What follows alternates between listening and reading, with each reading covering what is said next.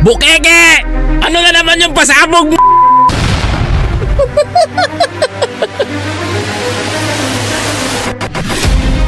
si Bukeke mga kababayan, nilaglag si Digong. Sabi ko sa'yo, PRRD eh. Ang maglalaglag sa'yo sa bandang uli, si Maharli ka rin eh.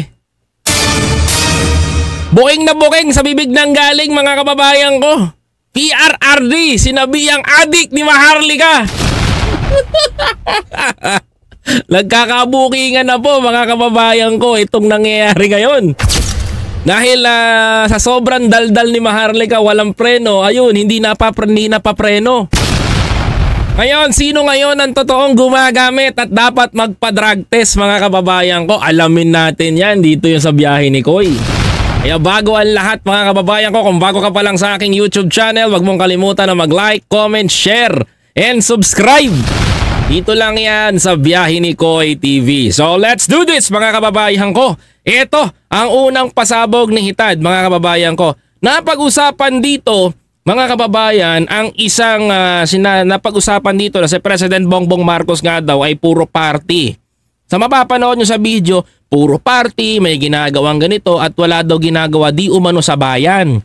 Mga kapatid, panayan sisi at maririnig nyo rin ang boses ni Maharlika dito. Nilagyan ko na rin po ng subtitle kung papaano niya sinabi na si Duterte ay isang jadik.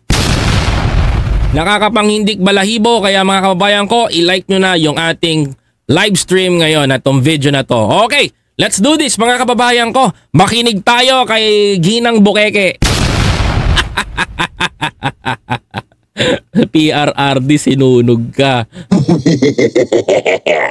Bata mo yan ha.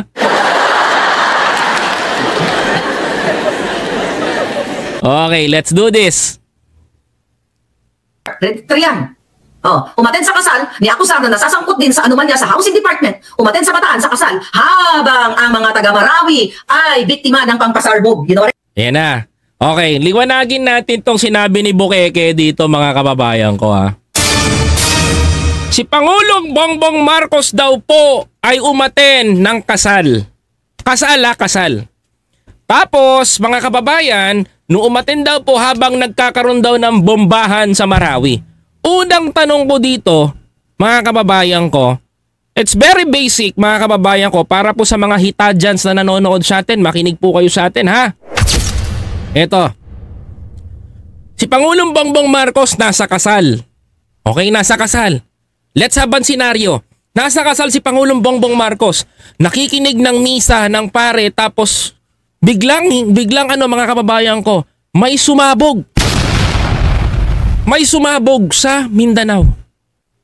Ano po ba dapat gawin ni Pangulong Bongbong Marcos? Mga kababayan ko. Hey, dapat bang tumayo si President Bongbong Marcos at tumakbo papuntang Marawi? Tignan yung mga nasabugan? B. Mga kababayan ko, kumalma at tumawag sa mga dapat na kinauukulan at utusan bilang presidente ang ating AFP. Sagutin niyo po ako mga kababayan ko. Basic. Sagutin niyo po ako A o B mga kababayan ko. Okay? Dapat ba habang nagkakaroon ng kasal tumayo si Pangulong Bongbong Marcos at pumunta ng Marawi para tignan yung mga nasabugan? B, mga kababayan ko, tumawag sa AFP chief kung ano ang nangyayari. Tatanungin ko po kayo, basic na basic yan, maharli ka para malaman po ng taong bayan. Hindi, para malaman natin, di ba? Oh, ano sagot ng mga kababayan natin? B. Ano sagot? B. O bakit po ba B, mga kababayan ko? Okay, basic. Si President Bongbong Marcos daw po ay umatin pa doon sa uh, kasal ni Akuzar, mga kababayan ko. Sabay singit mga kababayan ko na nasasangkot daw sa kung ano-anong issue. Mga isabay lang, di ba mga kababayan? Ganyan ang diskarte niyan. Mga kapatid, diskarting pasok talaga itong nuno na to mga kababayan. Oh, malanuno si Bukeke ngayon. Ang sagot dyan mga kababayan ko, letter B. Pero bakit hindi A? Kasi baka mamaya sabihin nyo A. Di ba? Baka sabihin nyo, eh, dapat tumayo siya habang nagmimisa at pumunta ng Marawi. Wala pong gagawa ng ganon. Mga kababayan ko, during that time, nung umatin po siya ng kasal nito ni Akuzar, mga kababayan ko, nasa gitna po ng misa si Pangulong Bongbong Marcos. At habang ginaganap ang misa ng kasal, mga kababayan, ay naganap nga po ang kahindik-hindik at nakakakilabot na pangyayari na hindi nating inasahan sa loob ng eskwelahan. Na meron nga pong sumabog na hindi um, na isang ah, bomba na talagang kumitil nga ng buhay ng ilang estudyante. Nakakalungkot pong isipin, mga kababayan ko. Tama po. Pero dapat po ba ang gawin ni Pangulong Bongbong Marcos dahil ang gusto ni Maha, pang, gawin ni Pangulong Bongbong Marcos ay habang nagmimisa tumayo si Pangulong Bongbong Marcos ng ganyan, tumakbo ng palabas, pumunta ng chopper, kailangan ba pumunta kagad ni Pangulong Bongbong Marcos doon sa bomb site? Ang sagot po dyan ay hindi po dapat. Eto po mga kababayan ko, wala pong presidente na habang sumasabog at nagbobombahan doon sa area na may pangyayari ay kailangan po ang presidente natin doon, mga kababayan ko. Kahit si Duterte, hindi rin gagawin yun. Uy! Diba mga kababayan ko, hindi rin gagawin ni Duterte na habang may nagbobombahan doon sa isang eskwelahan na hindi, hindi pa nakiklear kung baka maraming itinanim na bomba, mga kababayan ko, ay pupunta ang isang presidente doon. Hindi po. Ano kailangan natin doon, mga kababayan ko? Expert. 'Di ba? Ano kailangan natin? Sagot po ba? Ano kailangan natin? Presidente o bomb squad? Presidente o AFP? Mga kababayan ko, pili po kayo. Ano po ba ang tamang sagot, mga kababayan ko? A and B. Mga kababayan ko ulit. A, kailangan ba ng presidente kagad? B, o AFP o bomb squad? Para pumunta doon sa site, mga kababayan ko. Kasi mga kababayan ko, gano, ang gusto ni Maharlika ganito ha. Oh, pili po kayo. Kailangan pag sumba sa area ng pagsabog mga kababayan ko, kailangan ba kagad ang presidente? Mga kababayan ko, kailangan ba kagad ng bomb squad at AFP mga kababayan ko? Ano kailangan natin? Letter B ulit, mga kababayan ko. Letter B ulit. Kasi tama talaga yung BB eh. Pansin nyo, BB, mga kababayan ko. Unang sagot, tama ang letter B. Pangalawang sagot, tama rin ang letter B, mga kababayan ko. 'Di ba, mga kababayan ko? Oh, tama, 'di ba? Letter B ang sagot. Bakit kay letter B, Koy? Eh, ba't anong kailangan natin doon? Kung may sumabog na ganun, kailangan natin bomb squad kagad. First aid responder, medical, police, AFP. 'Di ba? Kasi nasa Mindanao. 'Yun ang kailangan doon. Mga kababayan ko, kailangan ba natin kagad ng presidente, mga kababayan ko? Kailangan ba kagad yung chopper lumipad kagad ng Mindanao kasi may sumabog, kailangan ata ganon? Mga kababayan ko? Aba, mga kapatid, ang lupit pala nun mga kababayan. Kasi, alam ba ni Pangulong Bongbong Marcos mag-handle at i-detonate ang bomba? Alam ba ni Pangulong Bongbong Marcos manggamot yung mga sugatan? Kailangan ba si Pangulong Bongbong Marcos pa rin ba ang tatawagan ng taong bayan kapag may sumabog ng ganun? Siya lang ba makakapagpawala? It's very simple uh, answer. Hindi pa kailangan si Pangulong Bongbong Marcos doon. I repeat, hindi pa kailangan si Pangulong Bongbong Marcos doon. Tuloy natin yung mga paliwanag niya mga kababayan. Sige. Amen. Tapos December 2, nag, uh, 3 ng umaga naganap. Gusto ni Kuting manahimik, kaya tahimik siyang nag enjoy sa buhay niya. Tahimik daw na nag enjoy sa buhay niya si Kuting ng Norte. Are you sure? Based on my intelligent, ayan na, ayan na, hindi to ahas ha. Hindi to ano, based on my intelligent, mga kababayan ko ha, intelligent talaga, lupit talaga ni biyahe ni Goy. Based on doon sa may resources, mga kababayan ko, no? President Bongbong Marcos ay hindi mapakali sa kasal during that time kaya tumawag po si Pangulong Bongbong Marcos kagad kay AFP chief mga kababayan ko to secure the Filipino people during that time. Yun lang tama. Nasa kasal ka, mga kababayan ko, hindi ka mapakali because may nangyayari dun sa ano, ang tawag dapat ang kailangan natin dun mga kababayan ko is the AFP, the police, at yung mga doktor, mga kababayan ko. We have, uh, may kanya-kanyang decision making yan. Bakit? Mga kababayan ko, tama ako. Mat ko, paano ko nasabing tama ako? Mga kababayan. Because mga kababayan, hindi naman kailangan si Pangulong Bongbong Marcos sa bomb site kagad. 'Di ba? Mga kapatid, kailangan ba kagad ng kailangan ba kagad ng ano doon? Kailangan ba kagad ng pangulo? Mapipigilan ba ni Pangulong Bongbong Marcos pag sinabi niyang stop? Ay walang nakakagawa noon. Si pastor lang mga kababayan. Kaya bang sabi, pwede bang sabihin ni Pangulong Bongbong Marcos, stop, NPA, stop bombing, stop, stop, stop. Pwede ba yon? Hindi pa pwede yon. Hindi, ga, hindi gagawin ni Pangulong Bongbong Marcos yun. Because President Bongbong Marcos is an intelligent person, alam niya kung ano gagawin. Calm down, kalma, tayo tayo dito habang uh, may kasal, tawag tayo sa AFP, alamin natin kung ano sitwasyon. Eh hindi, ang pinalalabas ni Maharlika dito, si Pangulong Bongbong Marcos lang nasa party. Para matapos itong pag-aakusa mo dito, Maharlika, sagutin na kita. Hindi si Pangulong Bongbong Marcos nasa partihan. Nagpapakasaya habang mayroong duguan may ganito, napakadrama. Alam niyo mo yung pasakay ng taong bayan sa drama, no? Sa totoo lang, huwag yung pasakay ng madlang people sa drama. No? Hindi siya kagaya ni Duterte, no? Eh kung si Duterte nga mga kababayan ko eh.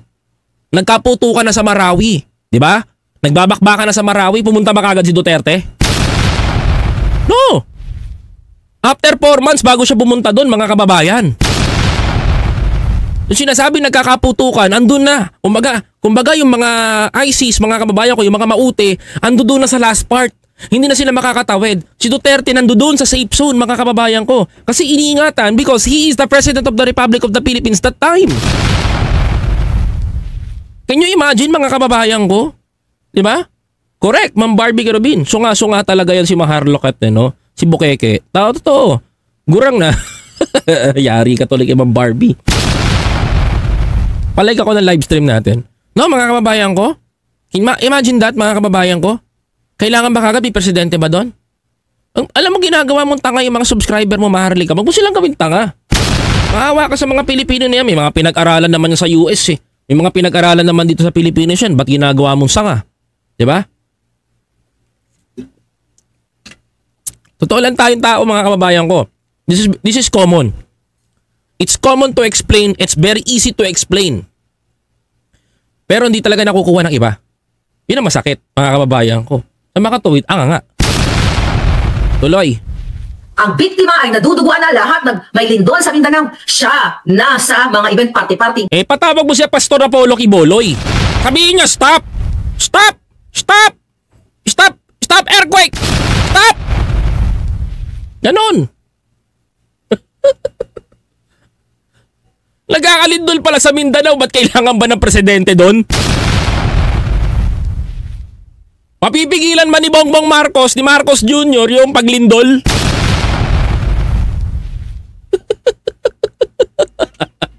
Walang gagawa doon! Eh kahit sino hindi mapipigilan yung paglindol sa Pilipinas. Kung talagang lilindol dito, lilindol talaga. Pero tandaan nyo, Si Pastor Apollo Iboloy lang ang nakapagpahinto ng ABS-CBN at ng EDSA. Yan ang panghahawakan ko mga kababayan ko.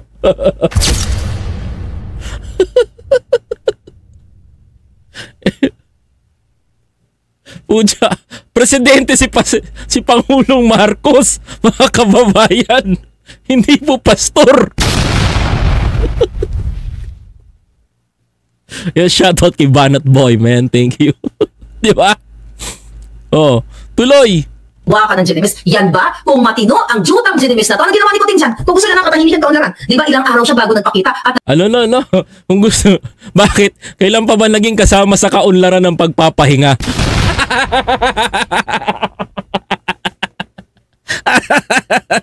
Sabi niya mga kababayan, no?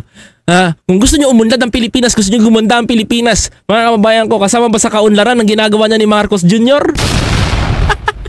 Tuloy. nag-release ng statement, tapos nagkubid-kubida ng jutang Genemis? Nagkubid-kubidan. Wala pa naman sinabing COVID si Pangulo noon na that time ah. Epal ka na naman, Mahal Bukeke. Walang sinabi si Marcos Jr. na ano siya.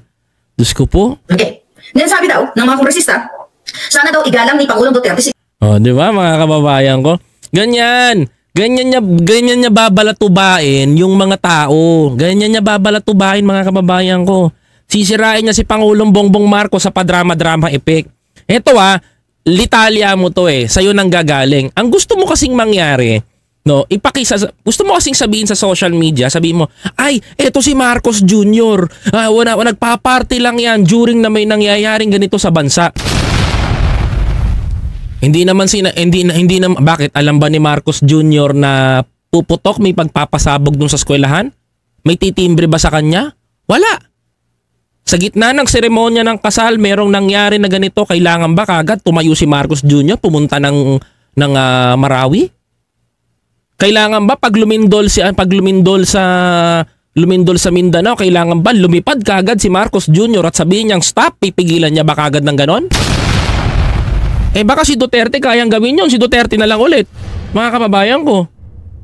Kasi if we comparison President Duterte to President Bongbong Marcos, malayo ang kalidad nila. Oo, malayo ang kalidad nila. PRRD, may, may, may galingan si PRRD, we know that. 'Di ba?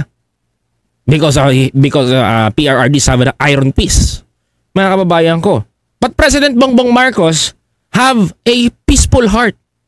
Kaya kung si Duterte ganito, sinusuntok-suntok yung mga loko-loko, mga kababayan ko, si Pangulong Bongbong Marcos meron ganito, kapayapaan para sa isa't isa. Kaya nga peace eh. This is a peace sign. Marcos sign.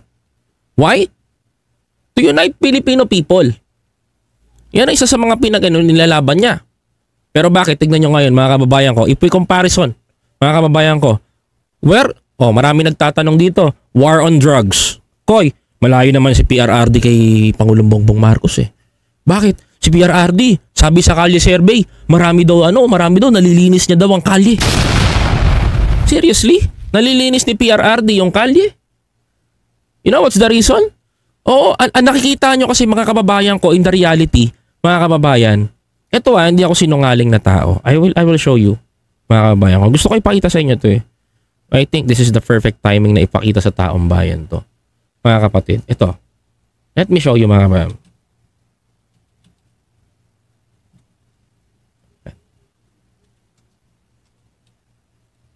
Let me show you this, mga kababayan ko.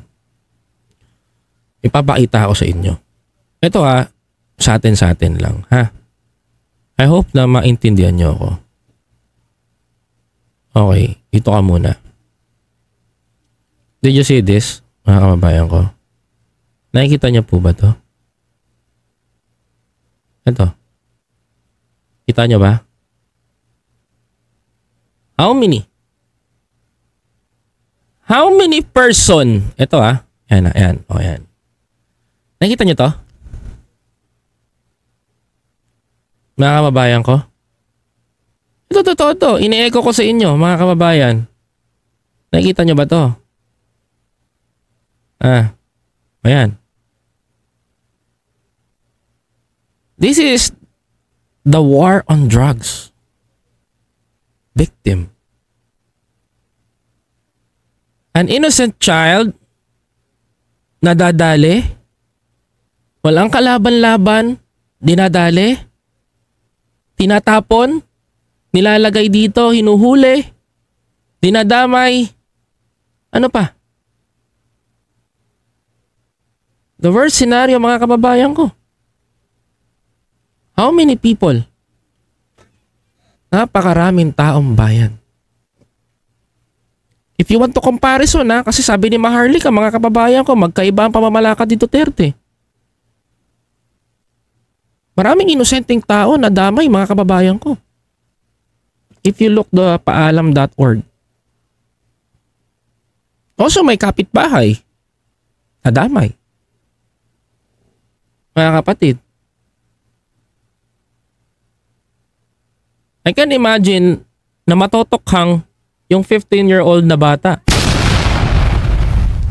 Courier. Diba? Ano pinagkaiba? Gusto kasi pinagpa-comparison niyo ako eh. Kung total naman, kinukomparison naman ni Maharlika to. President Bongbong Marcos Jr., mga kababayan ko, ang tinarget niya sa war on drugs, ano? Ulo. Supplier. Pangulong Duterte, ang tinarget niya, user.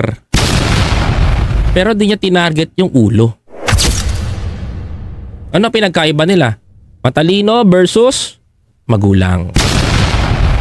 Second, gumuho yung Davao. Ah, may, uh, gumuho yung Mindanao. Nagkalindol sa Mindanao, mga kababayan ko. Ano kailangan gawin ni, ni Pangulong Bongbong Marcos? Kailangan ba pumunta doon? Of course, hindi. Mga kababayan ko, let the MD or MO ang gumanap dyan. We have a 911. Sila ang first responder. Mga kababayan ko. Di ba? They have the first responder, meron silang kailangan, lahat yan. Mga kapatid, andyan. Andyan ang uh, para sa Mindanao. Kailangan ba si Pangulong Bongbong Marcos? Kapag sinabi ba ni Pangulong Bongbong Marcos na, oh, tigil! Titigil ba yan? Of course, hindi mga kababayan ko. Walang ganun. Ang gusto mo kasi maharlika na ipakita sa taong bayan ay si Pangulong Bongbong Marcos magkaiba ay PRRD samantalang hindi nga sumusulpot si PRRD during na nagkakabat nagkakaputukan eh. Yung mga simpleng pamamaraan na yan, simpleng bagay na yan na kayang solusyonan ng ating gobyerno, tandaan mo, mga kapatid, tandaan nyo, may gobyerno tayo doon. May gaganap para sa atin doon. Andon ang AFP, andon ang PNP, andon ang mga kapulisan, andon ang doktor. Sa tingin nyo kakailanganin pa natin ng presidente para lang doon? Eh kung aantayin pa natin yung presidente, eh nangamatay na yung mga tao na yun doon siguro. Tama? Mga kababayan ko? Kaya, wag nyo ipangalandakan sa, sa channel mo maharli ka na, kailangan ng presidente, kailangan ng presidente. Ultimo pag-utot ba ni Presidente Bongbong Marcos, kailangan mo rin ibalita? 'Di ba? Mga kababayan ko, ganyan ang tirada nila. Walang magbabago sa Pilipinas kung ganitong ganito pa rin ang mga ni- nakikinig sa'yo. I see the effect na ginagawa ang pagkakamali at alam ko you working itong ginagawa ko na to because I saw your views. 12,000 going to 1,500 to 2,000. Susunod, wala na yan. Maniwala ka.